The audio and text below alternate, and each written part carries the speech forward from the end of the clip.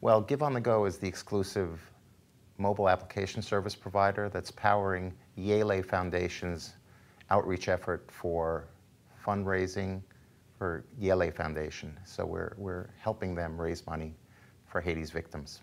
And how much money did you raise yesterday? A million dollars. It's amazing.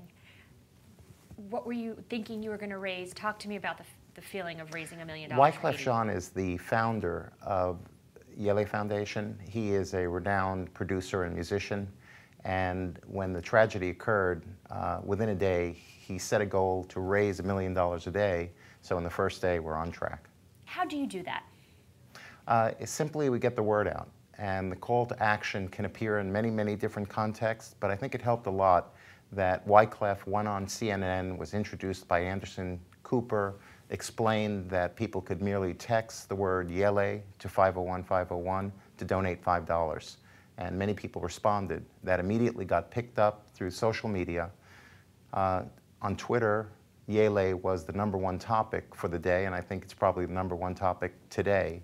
Um, I know that the call to action, which is text Yele to 501 501, appeared on the first day on probably 25,000 different web pages, and today it's probably double or triple that. How much do you think you will raise? It's hard to say. Um, I'd like to think that Wyclef is right and that we're on track for a million dollars a day. Uh, but in light of the fact that mobile giving in its first year only raised $870,000 and we did it in a day, I'd like to think we can have good days like that every day.